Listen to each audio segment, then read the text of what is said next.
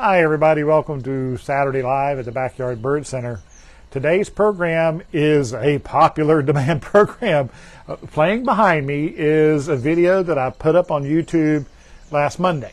And since putting it up there, I have had countless questions or requests to, to give advice on how to build this water fountain that's going on here. And give credit, this is uh, my friend Mary Namasek, who lives uh, not very far here from the store. This is her backyard. Uh, she put this fountain together last fall, and I had a video up uh, from the fall. And then uh, she tried to keep it going during the winter months. It was very, you couldn't do that, so she took it apart and she put it back out this spring and in migration. And if you're a regular follower of me, if you listen, watch my videos, you know what a huge proponent I am of water and providing water for birds, whether it's unfrozen water in the winter months with a bird bath deicer, or in, in, especially in migration now, moving water because moving water is a magnet for birds, and this video is living proof of it. Uh, several of the birds in this video are migrants that are passing through this area. Uh, there are resident birds too. Here, the gray catbird in the bird bath right now. There's a cardinal comes in the bird bath, but there's also Nashville warblers in the video, Swainson's thrushes in there, yellow warblers. Uh, it, it, it's it's a beautiful uh, testament, and I know I'm talking through it, but if you want to watch this and just listen to this trickling sound and the birds singing and all. It is on the YouTube channel. Uh, like I said, I just posted it last Wednesday, and I'll put a link in, uh, for you um, in the description under the video today. But um, so, how do we do this? Well, moving water is so critical, and you. One of the things that this shows the importance of is cover. It may not be as quite as evident from the camera, the, the television view, but for birds to have confidence, especially migrating birds, to use a water source like this, it needs to be in cover. It needs to be where they feel secure and, and the trees and the shrubs and everything around it to, to sneak in to get to the, the and bathe in the bird bath because there are predators out there.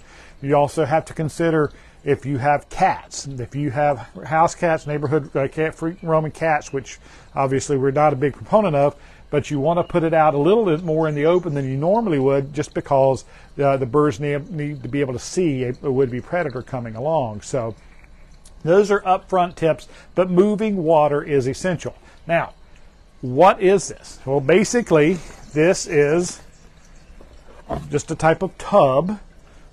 You can get them anywhere. There's all kind of uses for them. They're in your uh, landscaping, your uh, potted plants at home, but this is obviously has to be able to hold water.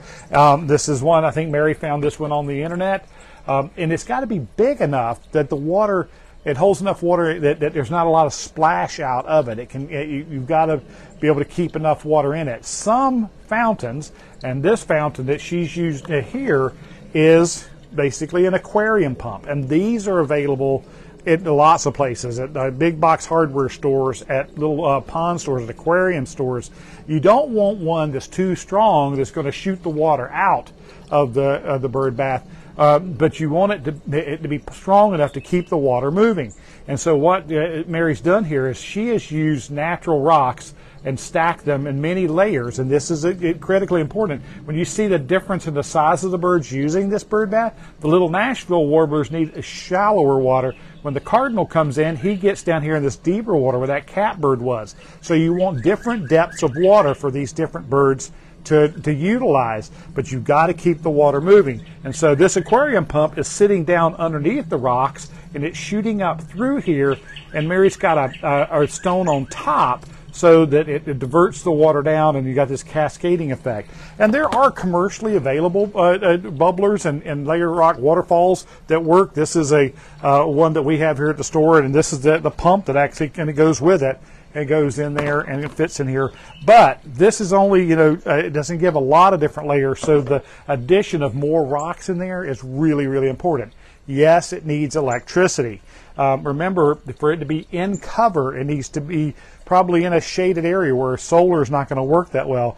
And the solar that uh, we have a couple of solar things that we've tried to use, but they shoot the water too high uh, and they splash out, so the, the bath ends up running out of water. So you've got to be able to keep it in there. So this cascading effect is much better than something that shoots the water high up in the air because it doesn't hold that that much of water. It had, you know, you've got a finite amount unless you're out there filling it all the time or have an autofill. I think the pump that Mary uses is one that actually shuts off when the water gets too low. Um, it's got that that feature to it, and it probably costs a little bit more. You know, it depends on what features you want in your pump as to you know how much you're going to spend there. The other part, of course, is cleaning. You've got to keep a bird bath clean.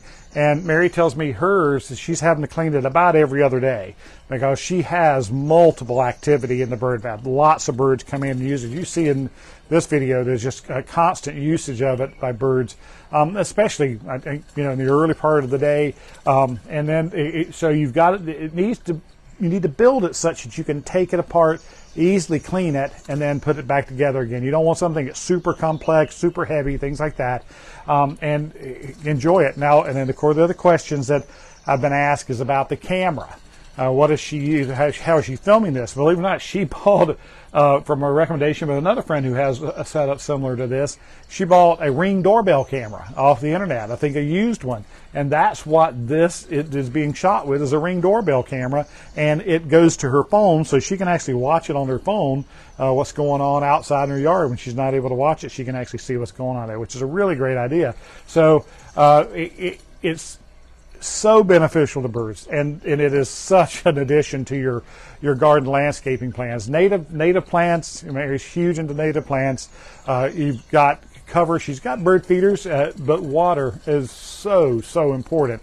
Uh, I hope you can come up with a system for yourself. Like I said, an exit a, a, a man-made a regular man-made bird bath with a bubbler in it or a mister that shoots a fine mist of water out. Those are all wonderful uh, at attracting birds. This setup is a dynamite. I mean, I just absolutely love it, and you can see the results. Here comes a Baltimore Oriole coming in going to get a drink as well. So, uh, moving water, a magnet for birds, especially migrating birds that don't know where they are, and they land, they hear that running water sound, boy, they're drawn to it. They've got to refuel, they've got to uh, eat, drink some water, bathe, to, to, preen their feathers to get healthy again.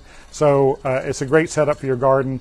Uh, like I said, we'll put a link to this video in this video so you can, uh, if you want to listen to it in pieces without me talking through it, it the sound's wonderful. Um, and of course the site, and you can loop it and you can play it for your cats or your dogs at home and, and things like that. So it's, it's just a fun video. So thanks so much for the idea or uh, kind of the demand for this video. I was told, please, please. So uh, it, it's a great idea. Uh, uh, water's so important. Give us a like, give us a share. If you're on YouTube, please subscribe. Until then, come by, let's talk birds.